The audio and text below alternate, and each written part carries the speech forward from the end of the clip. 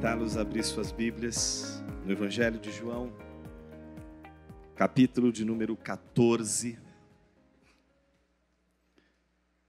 Nós vamos falar sobre o impacto da esperança que vem da mensagem de que o nosso rei está voltando, mas ela virá justamente do seu discurso de despedida. É no discurso de despedida de Jesus que reside a esperança do discípulo. Queria ler com vocês versículos 1 a 7. Diz assim a palavra de Deus: Que o coração de vocês não fique angustiado. Vocês creem em Deus creiam também em mim. Na casa de meu pai há muitas moradas. Se não fosse assim, eu já lhes teria dito, pois vou preparar um lugar para vocês. E quando eu for e preparar um lugar, voltarei e os receberei para mim mesmo, para que onde eu estou, vocês estejam também. E vocês conhecem o caminho para onde eu vou. Então Tomé disse a Jesus: Não sabemos para onde o Senhor vai. Como podemos saber o caminho? Jesus respondeu: Eu sou o caminho, a verdade e a vida. Ninguém vem ao Pai senão por mim. Se vocês me conheceram, conhecerão também o meu Pai. E desde agora vocês o conhecem e têm visto. Oremos mais uma vez. Pai querido, fale conosco com tua palavra. Ilumina nossa mente, para que a gente possa enxergar aquilo que só enxergaríamos, porque antes de tudo, teu Espírito Espírito testemunhou ao nosso coração e nos regenerou para enxergarmos o que antes, escravos do pecado, jamais conseguiríamos enxergar. Por isso pedimos a luz do Teu Espírito, porque se fomos curados da cegueira, ainda assim precisamos dele. Não para sermos curados da cegueira, mas podermos enxergar, porque para enxergar também precisamos da luz, da luz do Teu Espírito e dependentes nos colocamos nessa hora, para que o Senhor, através de Sua palavra, nos alimente, porque é isso que nos coloca ao pé da cruz. A certeza de que todas as vezes que encontramos Tua palavra, ela nos alimenta. Assim oramos no nome de Jesus, Teu Filho. Amém. Há três princípios que são fundamentais para a interpretação de um texto sagrado.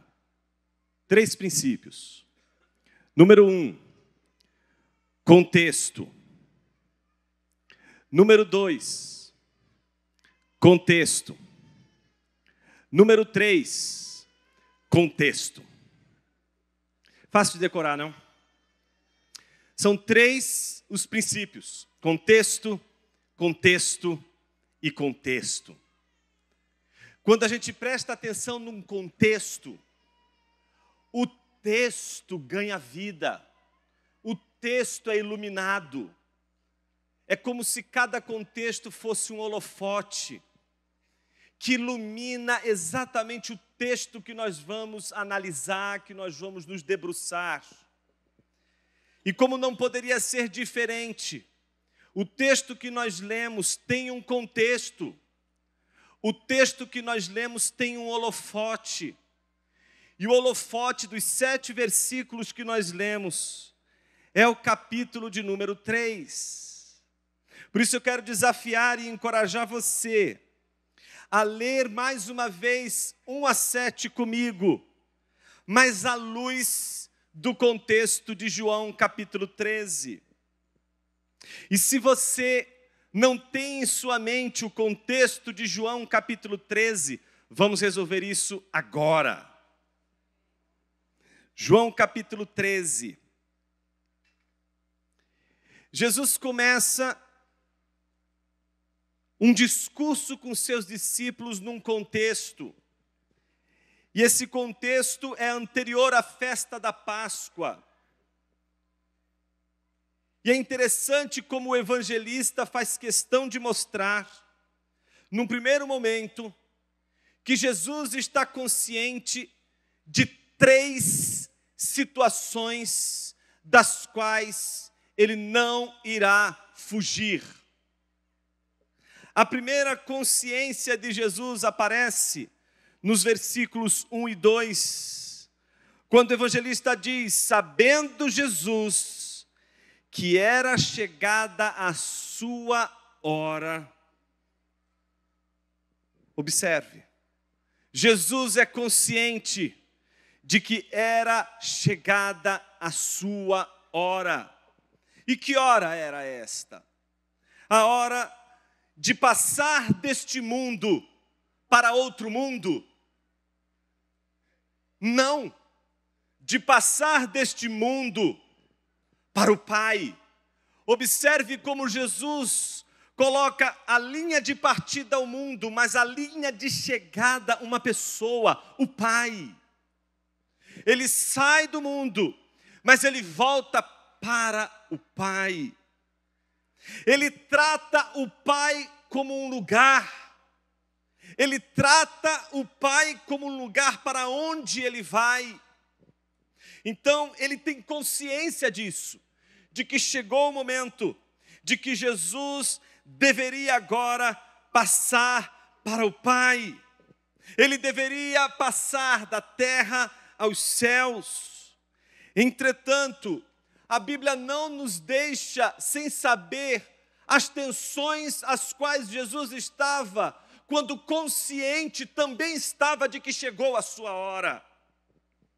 De que não somente ele sabia que era hora de voltar ao Pai, mas ao mesmo tempo, o evangelista diz que ele tem consciência de que era chegada a sua hora de partir deste mundo para o Pai, tendo amado os seus que estavam no mundo.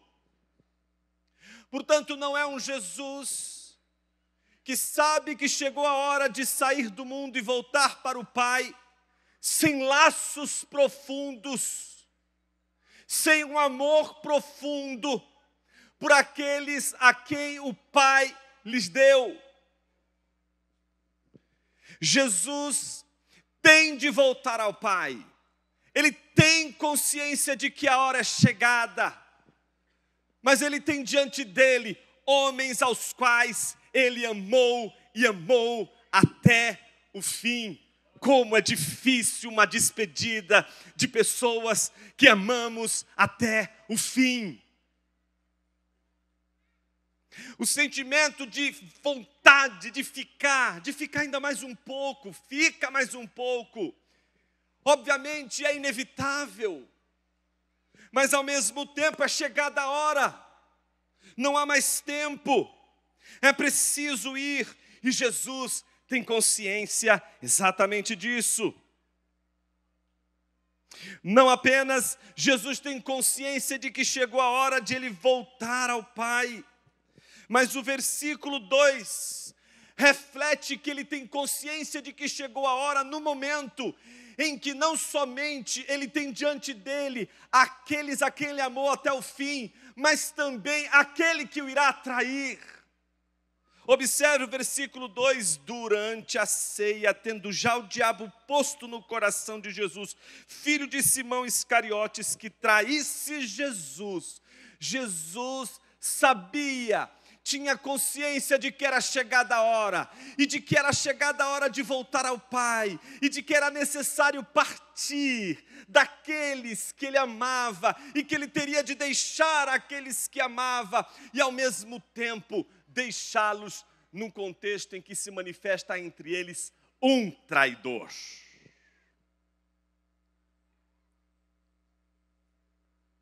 É interessante porque não estamos lidando com um Jesus semelhante a Júlio César, tal como foi narrado por Shakespeare, na sua famosa peça Júlio César, Lá no ato 3, cena 1, um dos atos mais conhecidos e celebrados da história de Júlio César, quando Cássius e mais 22 conspiradores contra Júlio César esfaqueiam Júlio César na escadaria do Senado. E a cada facada que César toma, ele reage com vigor, com insistência, com vontade de lutar, com vontade de prosseguir. Mas a última e a mais terrível de todas as facadas era justamente aquela que levou Júlio César a desabar na escadaria. Quando ele olha e recebe a, 20, a 23 facada, vinda justamente de Brutus, aquele a quem ele tanto amava. E aquele a quem ele tanto amava, agora tem uma faca em suas mãos e mata Júlio César. O que Júlio César diz, surpreendentemente, até tu, Brutus. Não, essa não é a história de Jesus. Jesus não é um rei que foi pego de surpresa diante do seu traidor. Jesus não é um rei que não sabe das conspirações políticas que acontecem contra ele e o seu reino. Jesus não ignora os movimentos satânicos e soturnos das trevas. Jesus tem consciência de todo o movimento anticristo. Jesus tem consciência de toda a traição a qual ele se submeterá. Mil vezes não. Jesus não foi vencido por uma traição. Jesus se entregou a uma traição. É muito diferente. Não foi Nabucodonosor que tomou o povo. Foi Deus que entregou o povo nas mãos de Nabucodonosor, quando a gente lê o primeiro capítulo de Daniel. Não foram os soldados do sinédrio, não foi Roma que tomou Jesus e nem Judas que entregou Jesus, foi Jesus que se entregou. Jesus é consciente da conspiração, Jesus é consciente da traição, Jesus sabe o que está acontecendo na sua casa, Jesus sabe o que está acontecendo na sua igreja, ele tem consciência de todas as artimanhas demoníacas de dentro da sua igreja, na sua própria casa, debaixo do nariz dos seus próprios discípulos. Portanto, Jesus não é alguém que está se despedindo daqueles que ele amou até o fim e indo em direção ao Pai, amando-os até o fim, sabendo que Judas irá traí-lo como uma surpresa. Não somente isso. Jesus, segundo o versículo 3, também tem consciência de que o Pai tinha colocado em suas mãos uma missão. Observe o versículo 3, sabendo novamente, pela segunda vez, a palavra eidos, a palavra da consciência. Pela segunda vez ela aparece, e aqui está dizendo: sabendo este, Jesus, que o Pai tinha confiado tudo às suas mãos, e que ele tinha vindo de Deus e voltava para Deus, levantou-se da ceia. Observe, João faz questão de nos deixar conscientes de que Jesus não só sabia o que estava acontecendo, sabia que era chegada a hora, e sabia que ele não voltaria aos céus sem uma conspiração contra ele, sem uma traição contra ele, mas ele também sabia que a ele foi confiada uma missão, e a missão vinha do Pai. Jesus tinha consciência de que ele amava os seus até o fim, mas Jesus sabia que a missão do Pai precisava ser cumprida, a despeito da necessidade de que ele precisasse se despedir dos seus e voltar para o Pai. Portanto, Jesus tinha consciência de que chegava a sua hora de voltar para a casa do Pai de onde ele veio, mas não como alguém que está cansado de lutar, não como alguém que perdeu as forças na batalha, não como um Júlio César que toma uma facada e se sente cansado e de repente desaba numa escadaria e entrega todos os pontos. Não, mil vezes não. Jesus é o rei que, tendo consciência da traição, da conspiração, tendo consciência de que era chegada a hora, ele também tinha consciência de sua missão. E de que, portanto, quando ele estava voltando para o Pai, não era porque ele estava dizendo assim, gente, eu estou trabalhando muito, olha, foram três anos, esse ministério foi muito pesado para mim, está muito difícil, vou tirar um sabático. Esse período de sabático eu vou ficar aqui no meu cantinho, vou descansar. Respeitem o meu Shabat. Vou deixar a igreja nas mãos dos presbíteros. Os presbíteros vão governar a igreja. Eu sei que vocês ficarão desesperados, mas é eles que vão dar conta. Mas eu vou voltar. E quando eu voltar, eu vou pedir para eles novamente o governo da igreja e vou reinar novamente sobre a igreja. Bem, resposta errada. Não, Jesus não tirou um período de sabático. Jesus não está fugindo da tensão de uma conspiração contra ele. Jesus está cumprindo uma missão. E às vezes cumprir uma missão exige aquilo que nós não gostaríamos de fazer, exige inclusive abandonar pessoas que amamos, exige inclusive deixar pessoas que amamos, exige inclusive aquele gesto que todos aqueles que se tornaram discípulos de Jesus um dia fizeram: deixaram sua casa, deixaram sua mãe, deixaram seu pai, deixaram tudo que os impedia de seguir a Jesus e passaram a seguir a Jesus. Então Jesus tem consciência de que ele precisa cumprir a missão. Não somente isso. Jesus tem também uma consciência de como o traidor fará o que fará. O versículo de número 5 a 20 ele é interessante porque ele vai nos levar até essas condições. Se você acompanha um raciocínio até aqui, você já sabe que Jesus já demonstrou a consciência de, de, que era chegada a hora, a consciência de que tinha uma missão a ser cumprida, e quando ele, João diz que é chegada a hora de ele ter a consciência da missão e de expressar essa consciência, ela acontece justamente quando ele se levanta da ceia. E eu queria que você imaginasse essa cena. A cena é de Jesus sentado à mesa com todos os discípulos. Todos eles estão sentados à mesa. E a mesa nos tempos de Jesus é diferente da nossa mesa. Tua mesa esconde seus pés. Seus pés ficam debaixo de uma mesa. Mefibosete daria tudo na vida para ter uma mesa como a sua, que escondesse seus pés atrofiados por causa de sua ama que o deixou cair. Mas não, a mesa de Mefibosete é como a mesa de Jesus, é uma mesa rente ao chão, e os pés sempre ficam à vista, eles nunca ficam escondidos, eles sempre ficam à mostra, eles estão sempre visíveis. E quando Jesus visitou a casa do fariseu, justamente porque o fariseu havia convidado para um banquete, Aquele fariseu não recebe Jesus da maneira como ele deveria ser recebido, não lava os seus pés, não lhe dá sequer um beijo no rosto como uma demonstração de honra, nem sequer faz o que se esperaria de alguém que estava ciceroneando, alguém da grandeza de Jesus, que era tirar a sua capa. E ao tirar a sua capa, porque essas, essas duas partes da indumentária desse contexto de Israel do primeiro século é interessantíssimo. Você usa a túnica, mas você usa por cima da túnica uma capa. E na casa, no banquete, só fica sem capa os servos, só ficam aqueles que lavam os pés, que servem os alimentos. Somente os servos ficam sem capa.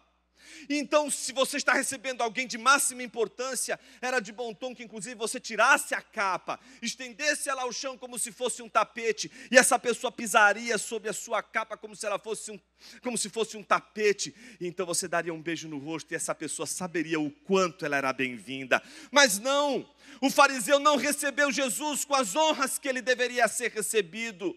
Ele senta-se à mesa e os pés de todos os homens estavam limpos, mas os pés de Jesus estavam sujos naquele dia. Estavam visíveis. Todas as pessoas que estavam ali reunidas para assistir o ensino que Jesus daria naquele banquete, naquele simpósio, veriam Jesus falar com os pés sujos. Eu acho tão interessante porque Jesus, de repente, ele está sentado à mesa. E então a Bíblia diz que ele faz uma coisa extraordinária. A Bíblia diz que ele levantou-se da ceia, tirou a vestimenta de cima e, pegando uma toalha, cingiu-se com ela.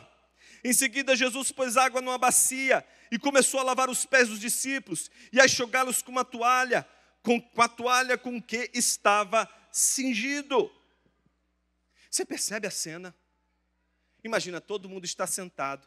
E o que levaria Jesus a lavar os pés de todos os discípulos? Porque quando ele observa, todos os pés estão imundos.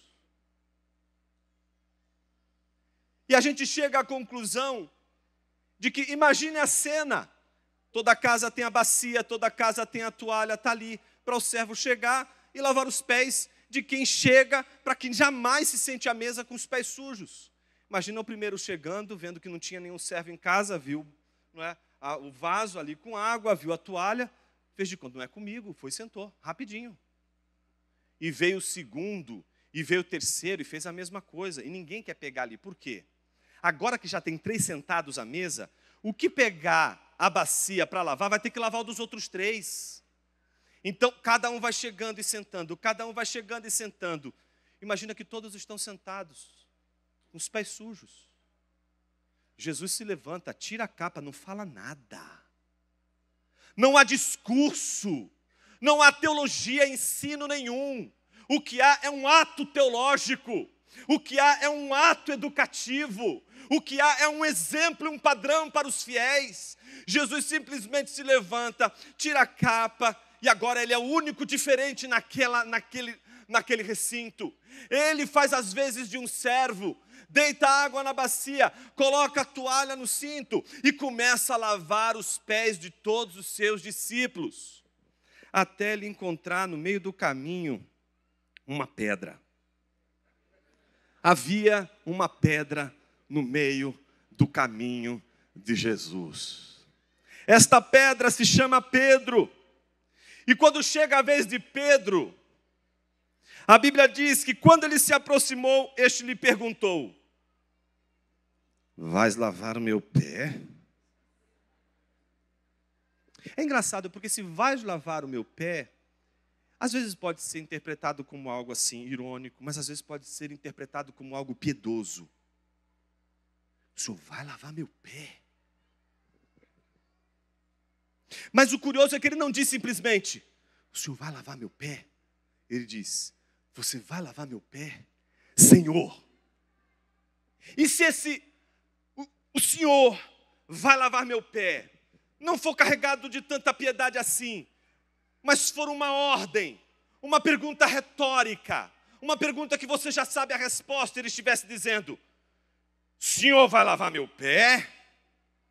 Do tipo como dissesse: Imagina que o Senhor vai lavar meus pés. Se o Senhor lavou de todos esses fracos aí que o Senhor lavou os pés, o meu Senhor não vai lavar. Imagina que eu vou deixar o Senhor do universo, o Rei do universo, aquele que manda em tudo e manda em todos, o soberano, lavar meus pés. É claro que o Senhor não vai lavar meus pés. Entende como um piedoso pode ser insubmisso, mesmo parecendo ser piedoso? A sua oração piedosa pode manifestar a maior e a mais demoníaca de todas as orações. Sua oração pode ser demoníaca. Não é porque você diz Senhor, Senhor, que a sua oração vai ser por este Senhor, Senhor santificada. A sua oração vem carregada de segundas intenções, mas também pode vir carregada de falsos moralismos. Por isso é uma bênção quando o crente descobre que as orações podem ser editadas e revisadas, elas não são como o tweet. Você pode voltar atrás, você pode corrigir e dizer: Senhor, não é nada disso, falei tudo errado, eu não sou nada disso que eu estou dizendo nessa oração. Eu sou o contrário. Mas Jesus precisa ensinar a Pedro. Então, Jesus, já conhecendo a figura, ele responde: Se eu não lavar, você não terá parte comigo. E é tão interessante porque a resposta de Pedro não é outra, senão: O Senhor nunca lavarás os meus pés. Por que o Senhor nunca lavarás os meus pés? Porque Jesus havia avisado a Pedro o seguinte: o que eu estou fazendo agora, filho, é como muita coisa que você estuda lá no seminário. Você não vai entender. Mas vai passar o tempo. Chãozinho de igreja faz bem. Sabe? Ouvir as pessoas, andar com um pastor do seu lado, ver a igreja na sua realidade. Isso vai fazer você entender exatamente o que é que você aprendeu durante todos esses anos. Então Jesus disse: O que eu vou fazer agora você não vai entender. Então ele disse simplesmente: Confia, se entrega. Mas o que Pedro diz? Senhor, jamais lavarás os meus pés. Olha como é piedade pode ser uma ignorância. E pior que ignorante vai para o céu, irmão. Mas não precisa, está entendendo? Não precisa. Então o que acontece na sequência? Jesus responde a ele: Se eu não lavar, você não tem parte comigo. A resposta logo de Pedro é impressionante. Como ele parece com a gente, ou como a gente parece com ele. Senhor, não está mais aqui quem falou. Lava os pés, lava as orelhas, lava tudo, não deixa nada. Lava da cabeça a planta dos pés. Percebe como Pedro é 880? Pedro é radical. Pedro vai de um lado ao outro numa velocidade estonteante. Ele muda de cor, de tradição, de igreja, de pastor. Eu vou parar por aqui. Da noite para o dia é rápido, ele está mudando o tempo todo, ele é um fluxo, é uma força da natureza que não para de mudar. E é bom, não é? Eu fico feliz quando eu vejo Pedro, porque quando eu vejo Pedro, eu falo assim: Senhor, tem chance para mim, tem chance para a gente. Jesus botou uma régua muito boa para a gente.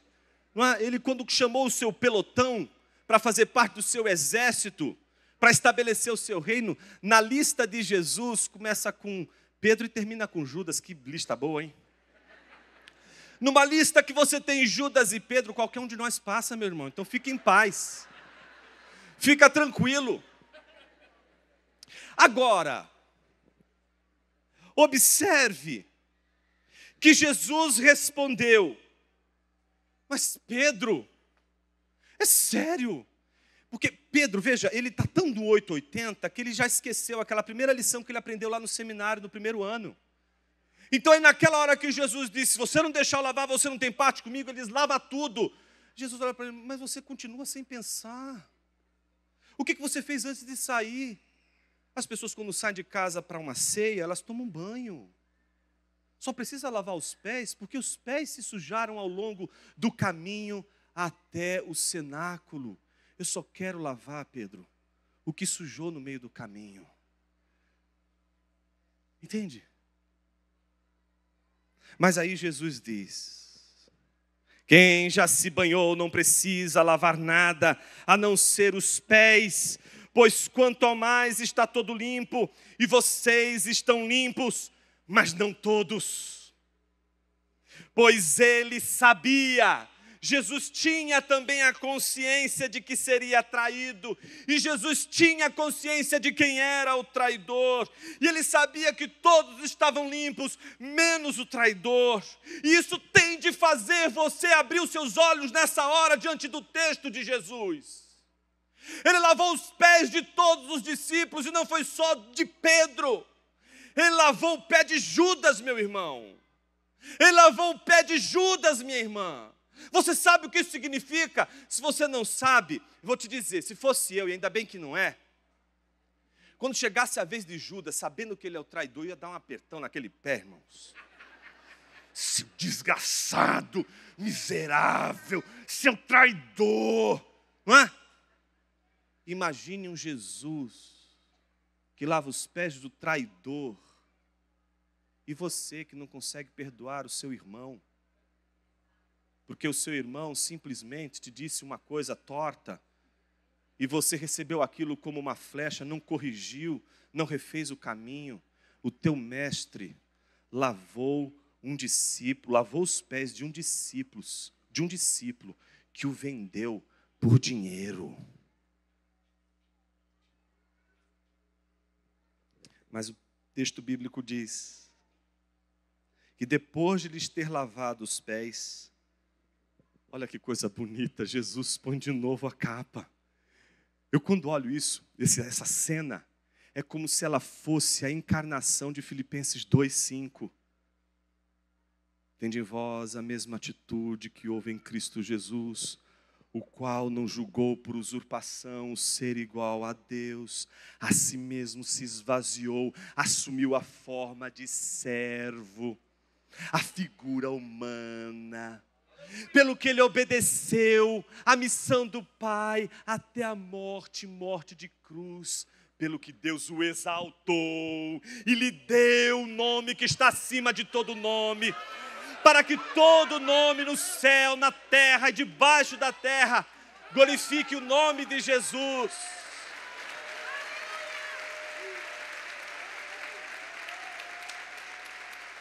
Você entende o que isso significa? Você não pode ouvir um negócio desse e dizer: Eu não, eu não vou servir. Eu não quero servir. Meus irmãos, ser membro de uma igreja, ser membro do reino de Deus, é escolher o caminho daqueles que perdem, que sempre estão perdendo alguma coisa e ganhando cinco vezes mais coisas maiores, mais valiosas. E aí, depois de vestir a capa, então não tem nada contra a capa, Jesus não tem nada contra a capa, Jesus não tem nada contra questões oficiosas. Ele veste a capa novamente e faz a seguinte pergunta: Vocês entenderam o que eu fiz? Vocês me chamam de mestre e de senhor e fazem bem, porque eu sou. Ora, se eu, sendo senhor e mestre, lavei os pés de vocês, também vocês devem lavar os pés uns dos outros, porque eu lhes dei o exemplo, para que, como eu fiz, vocês façam também. Então, imagina os discípulos ouvindo tudo isso e olhando para Pedro. Ordinário.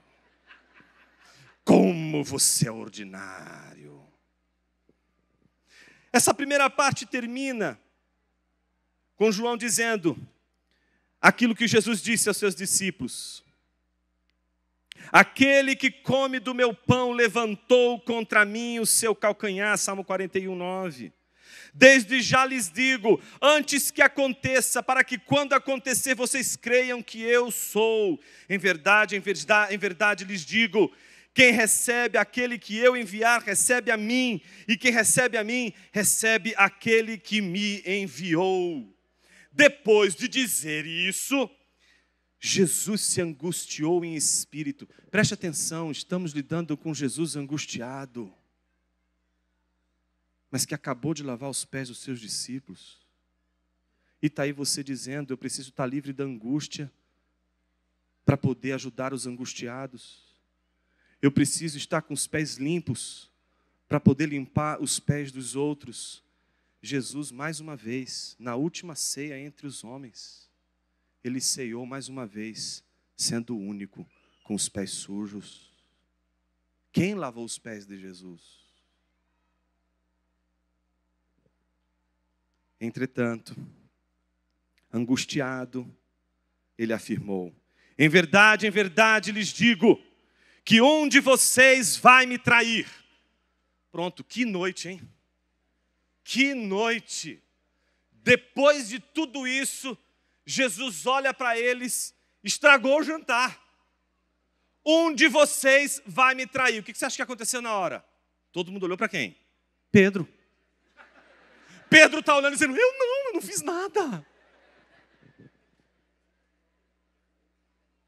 Em verdade, em verdade lhes digo: um de vocês vai me trair. Então os discípulos olharam uns para os outros sem saber a quem ele se referia. Então todos eles estão assim, eufóricos agora. Quem será que é? Quem será esse que Jesus está dizendo? Olha, quem mais aprontou nos últimos dias, inclusive hoje aqui, foi ele. Imagina todo mundo ali naquela euforia agora, porque Jesus acabou de revelar: a um de vocês vai me trair. Ao lado de Jesus estava reclinado um dos seus discípulos a quem ele amava. Quem que era? João. E aí, mais uma vez, no jantar de Jesus havia uma pedra. Versículo 24: Simão Pedro fez um sinal a esse para que perguntassem a quem Jesus se referia. Você consegue imaginar isso? Jesus disse: Hoje alguém aqui, eu estou revelando entre nós, há um traidor.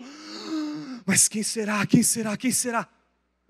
Pedro, é você. Imagina agora Pedro, sabendo que João está ali do lado de Jesus. O que, que Pedro faz? Está distante, né? Ele olha para João, imagina a cena. Pergunta para ele.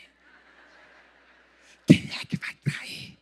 Imagina João do lado de lá dizendo: Quem? Quem vai trair, seu animal? Aí ele respondendo: Ah, entendi. Aí ele faz aquele movimento. Mestre, quem é que vai te trair? E aí Pedro, né, agora vai dizer, né? Jesus faz o seguinte movimento. É aquele a quem eu der um pedaço de pão molhado. Então João agora sabe que é alguém que vai receber um pão molhado. Então o que Jesus faz? Pega um pedaço de pão, tendo molhado, dá Judas. Imagina João, ah, o tesoureiro.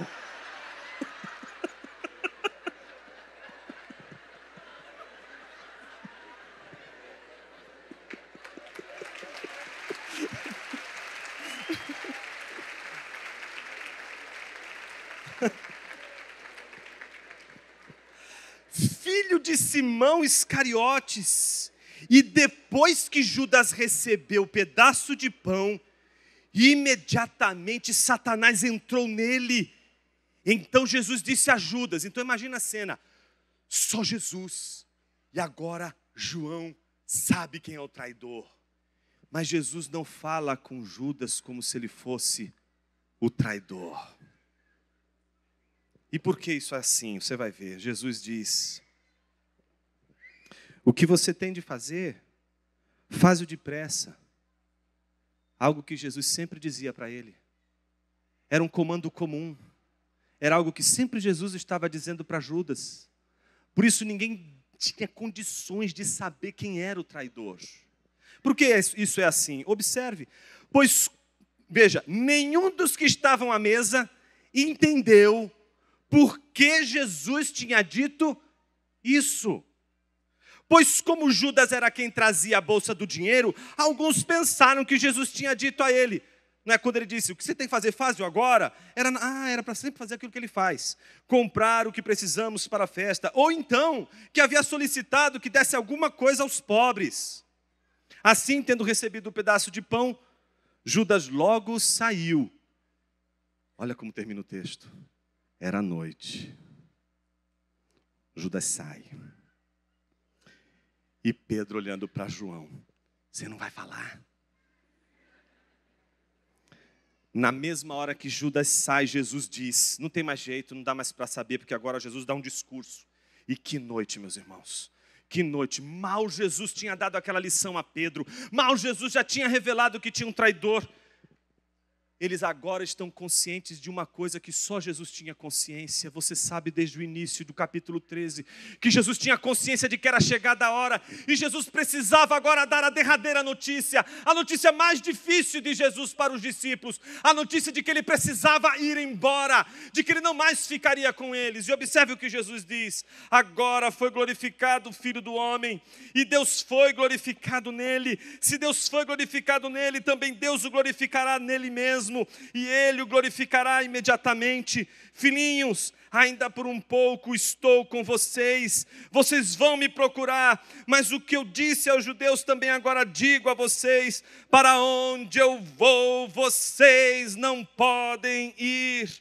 Eu lhes dou um novo mandamento: que vocês amem uns aos outros, assim como eu os amei, que também vocês amem uns aos outros. Nisto todos conhecerão que vocês são meus discípulos, se tiverem amor uns aos outros. Então Jesus está dando esse discurso, e é aquele momento em que, ei, não tem só um traidor, o mestre está indo embora. Como assim? Há três pedras no caminho de Jesus. E a pedra volta a aparecer, versículo 36.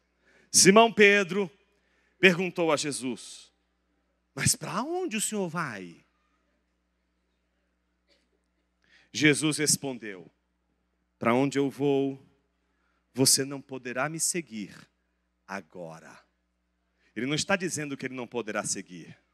Ele está dizendo: você não poderá seguir agora. Mais tarde, porém, me seguirá. Pedro disse: Senhor, por que não posso segui-lo agora? Dá para entender o que Jesus passou naqueles três anos. Numa noite só você entende perfeitamente é? a relação Jesus e Pedro. Senhor, por que não posso segui-lo agora? E aí vem a frase que todo piedoso que não tem consciência da sua piedade piedosamente diz: Darei a minha vida pelo Senhor. Tem coisa que a gente nunca pode dizer, meus irmãos. Tem coisas que a gente só tem de fazer. Mas ele resolveu dizer antes de fazer.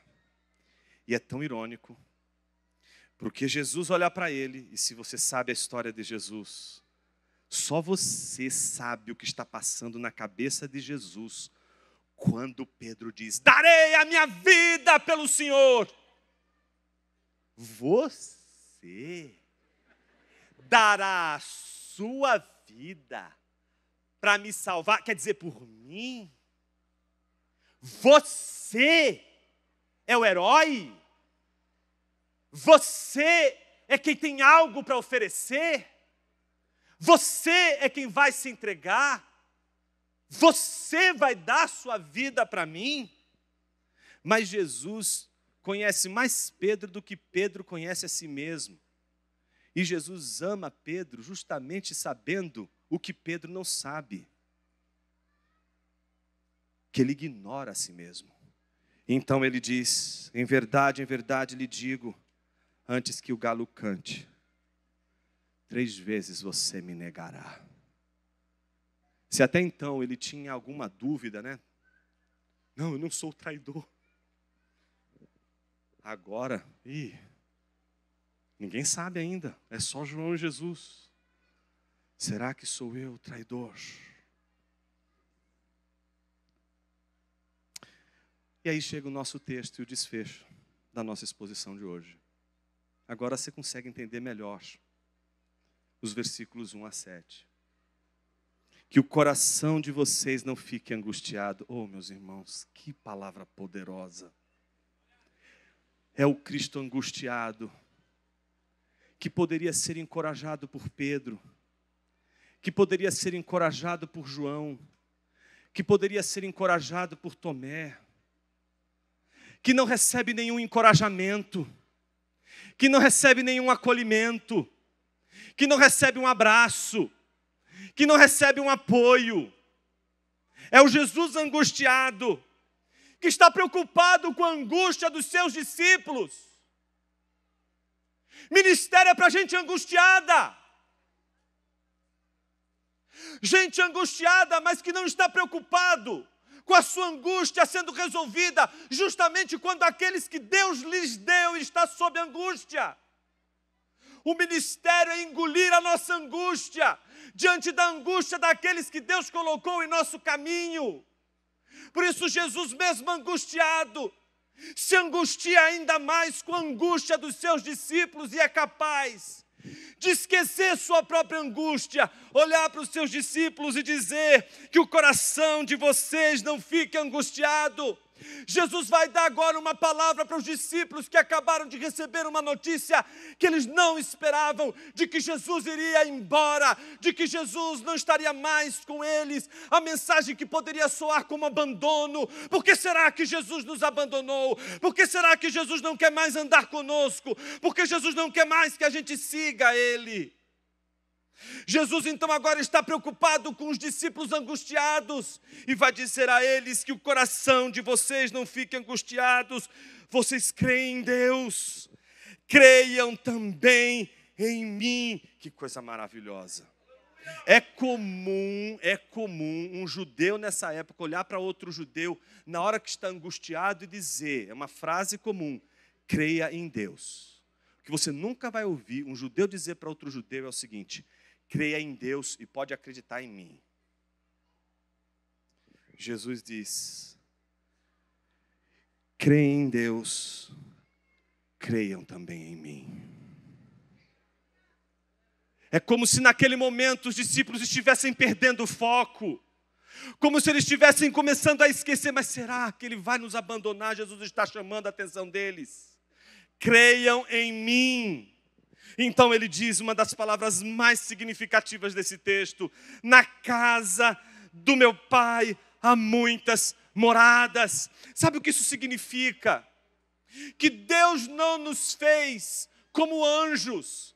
Os medievais usavam um termo para explicitar a relação dos anjos com o mundo e para explicar por que, que os anjos não precisam de mundo, eles são ilocales eles não têm uma localização, eles não precisam de um lugar, eles não precisam de uma morada, eles não precisam de um contexto para viver, por isso eles são seres espirituais, mas Deus nos fez de uma tal maneira que somos sempre localizados, você está sempre dentro de algum lugar, você nunca está fora, desde o dia que você nasceu, você foi concebido dentro de um lugar, Dentro de uma bolha você sempre esteve e você sempre vai estar dentro de uma bolha. Uma bolha pode ser maior do que outra, um universo pode ser maior do que outro, o universo pode ser melhor do que outro, mas não existe mundo sem um lugar para nós. Deus não nos fez para existir e subsistir além de um lugar, por isso que Ele nos fez não apenas o Éden, mas Ele também cultivou um jardim e não nos colocou no Éden, mas nos colocou num jardim. Se o Éden Éden está exatamente como a criação, o jardim do Éden está como a casa de Deus, adornada por Ele, cuidada por Ele, de uma tal forma que ali seja o habitat, o lugar do homem.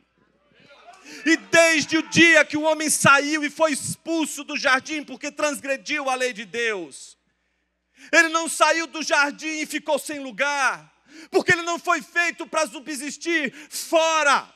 Ele sempre foi feito e criado para subsistir dentro.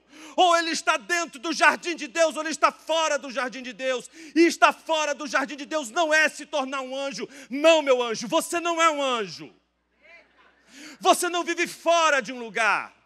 Você não vive suspenso num espaço. Você está sempre em um lugar. E todo lugar onde você pisa a planta dos seus pés é uma mimetização do jardim do Éden no seu coração, tanto no seu como de um ímpio.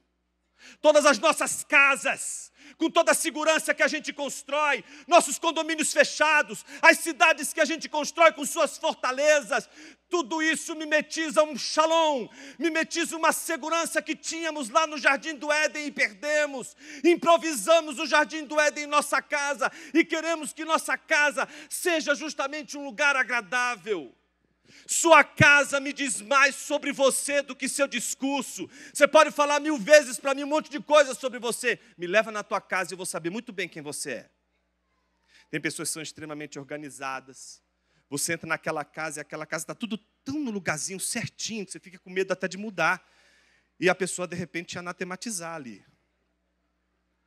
Tem casas que você vai que você já sabia, esse irmão aqui está precisando de ordem porque você não sabe por onde entra e por onde sai. A casa parece um labirinto. É? Às vezes a casa tem símbolos religiosos, às vezes a casa não tem símbolo religioso nenhum, mas o que importa, me mostre tua casa, eu te direi quem tu és. A tua casa reflete também tua identidade.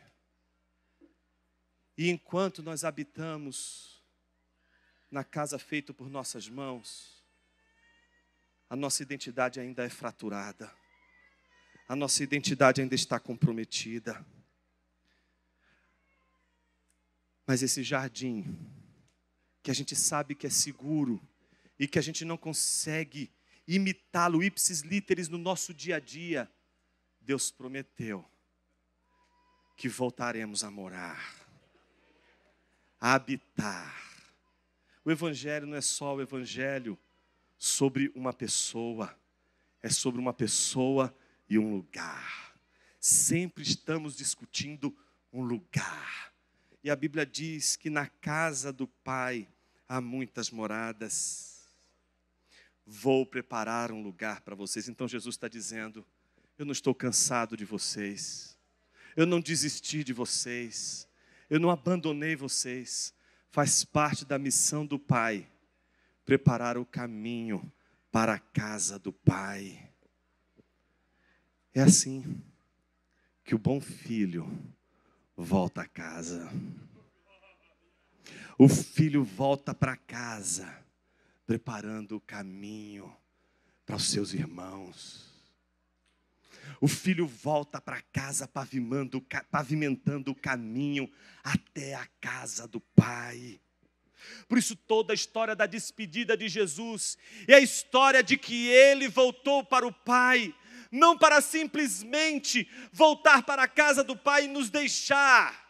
Não, a Bíblia diz que ele ainda continua governando a sua igreja, não, os presbíteros não governam a igreja de Jesus meramente, eles governam a igreja de Jesus como instrumentos de Jesus. Jesus governa a sua igreja por meio dos seus presbíteros, Jesus governa a igreja por meio dos seus pastores. Os pastores se submetem ao senhorio de Jesus e recebem a autoridade de Jesus para governar a sua igreja, não do jeito que eles querem, mas do jeito que Jesus quer, como Ele quer, do jeito que Ele quer, da maneira como Ele quer quer. Pastores não são empreendedores. Pastores não vão criar novas igrejas e novos negócios. Pastores vão fazer igrejas conforme a ordem de Jesus, do jeito que Jesus quer, mesmo que eles não gostem. Mesmo que eles não gostem. Porque o Evangelho não é sobre mim, não é sobre você, não é sobre meus gostos, não é sobre seus gostos, é sobre o gosto do rei, é sobre a vontade do rei, é sobre o que o rei quer, não o que queremos, mas o que o rei quer. E quando eu for e preparar lugar, voltarei e os receberei para mim mesmo. Jesus não quer perder eles de jeito nenhum. Ele está dizendo: vocês são meus eu voltarei e os receberei para mim mesmo. É tão bonito. Se depois você puder, leia até o final. Jesus vai tratar o Pai como uma casa, vai tratar Ele mesmo como uma casa, vai tratar o Espírito como uma casa. Ele mesmo vai dizer: Eu habito o Pai, o Pai habita em mim, todo aquele que habita em mim habita o Pai. Veja como Jesus está falando de morada o tempo todo, de habitação, de convivência. Veja como o texto vai mostrando as questões e abrindo as questões para os discípulos. E ele diz: E vocês conhecem o caminho para onde eu vou. Pronto. Tomé disse a Jesus: Não sabemos para onde o Senhor vai, como podemos saber o caminho? Por que, que a gente precisa saber das coisas antes? Por que, que a gente quer entender antes? E o engraçado é que Jesus não foge da pergunta. Jesus diz: Eu sou o caminho, a verdade e a vida. Ninguém vem ao Pai senão por mim. Se vocês me conheceram, conhecerão também o meu Pai, e desde agora vocês o conhecem e têm visto. Então Jesus está dizendo: onde é o caminho? Como é esse caminho para chegar até o Pai? Jesus está dizendo: você está diante dele, tem que passar por mim. Eu sou o caminho, a trilha sou eu, a jornada sou eu. Onde é que você vai pisar os seus pés? Em mim. Eu sou o caminho, eu sou a ponte, eu conduzo você à casa do Pai. Não tem outra estrada, não tem outra jornada. É singular, não tem atalho, não tem outro meio, não tem outra circunstância. Ou você encara o olho de Jesus, como encararia o olho de um leão, ou então você foge. Mas o que não dá é para você ficar diante do leão e fazer bilu-bilu na cara dele esperar que ele não te morda. O leão vai ferir, o leão vai tocar, e essa ferida vai alcançar nosso coração, ao ponto de quando ele disser, quando muitos e muitos o abandonarem, e vocês, vocês não querem fazer o mesmo? E um deles vai dizer, nem sempre dá bola fora. Para onde iremos? É isso que ele diz? Ele diz: Para quem iremos? Só tu tens as palavras de vida. Jesus então é o caminho. Mas como ele será o caminho? Ele será o caminho enquanto ele for submisso à traição e à cruz. Este é o caminho de Jesus. Mas observe a pergunta de Filipe: Senhor, mostra-nos o Pai, e isso nos basta. O que isso revela? Revela que tudo aquilo que Jesus havia dito parece que se pulverizou. Jesus, quando disse eu sou o caminho, a verdade e a vida, ninguém vem ao Pai senão por mim, ele está colocando os discípulos debaixo de duas perspectivas. Você consegue perceber isso? Primeiro, Jesus está dizendo que o caminho para chegar ao Pai, eles já sabem qual é, porque Jesus havia dito: Jerusalém é o lugar para onde eu vou, e lá vocês sabem o que vai acontecer. É nessa hora que aparece o Pedrão, lembra? Não é bom que vás a Jerusalém, porque. Entende? Mas o que nós vemos é um Jesus que vai a Jerusalém. É o Jesus que sabe que o caminho para pavimentar a nossa estrada das moradas do Pai é a sua cruz. Então o caminho de Jesus é a cruz. E o caminho dos discípulos é Jesus. Jesus não está dizendo, o caminho de vocês é também uma cruz. Jesus está dizendo, não, Pedro, não é você quem vai dar a sua vida por mim. Sou eu, Pedro, que vou dar a minha vida por você. A cruz é minha, mas o meu sangue é teu. O sofrimento é meu mas o gozo e o deleite dos céus é teu. Pedro queria dar a vida por Jesus.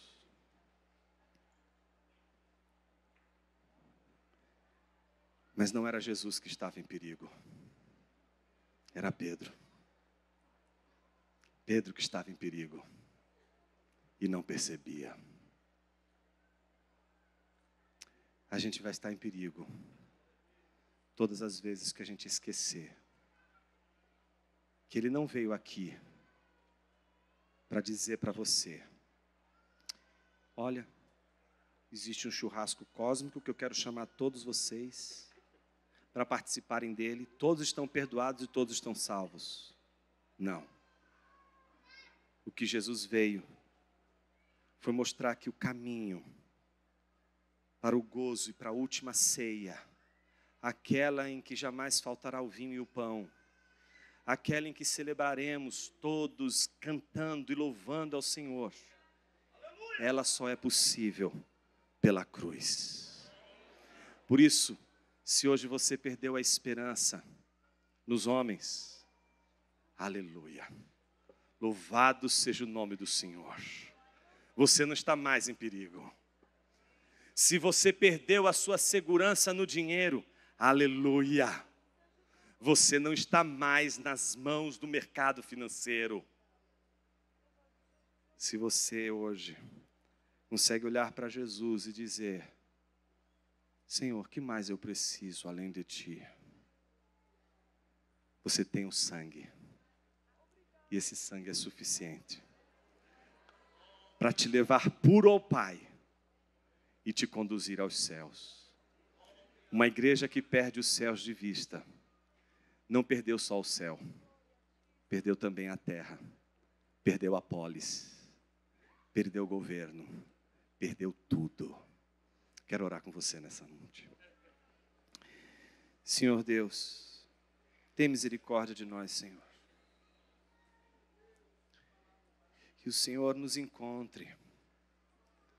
Porque a gente não consegue perceber que somos perigosos para os outros e que também estamos em perigo. Então, Senhor, não nos deixa, não nos deixa sozinho em nenhum momento, Pai, porque sabemos o que somos capazes de fazer sem a Tua graça, mas é porque fomos libertos do pecado e contamos com a Tua graça que podemos o que os ímpios não podem lutar contra o pecado, lutar contra a insubmissão, lutar contra o orgulho, lutar contra a vaidade. Senhor, talvez existam pessoas aqui entregues, cansadas, atravessadas por tantas dificuldades e sofrimentos que se perdem no meio do caminho e que perdem os céus de vista, que perde a mais importante de todas as mensagens. O Senhor não morreu na cruz e foi aos céus à toa, o Senhor foi preparar o nosso lugar. Porque o Senhor não nos fez para flutuarmos no vazio. O Senhor nos fez para pisar o chão. E que a gente possa entender que toda a nossa vontade de encontrar um lugar em que a gente possa dizer, enfim, estão, estão em casa, enfim, acabou, não há mais sofrimento. Esse lugar é a morada do Pai. E é só ali que o Senhor nos ensinou, que o Senhor habita, e aqueles um dia, como nós, iremos habitar no esconderijo do Altíssimo. Assim oramos no nome de Jesus, o teu Filho.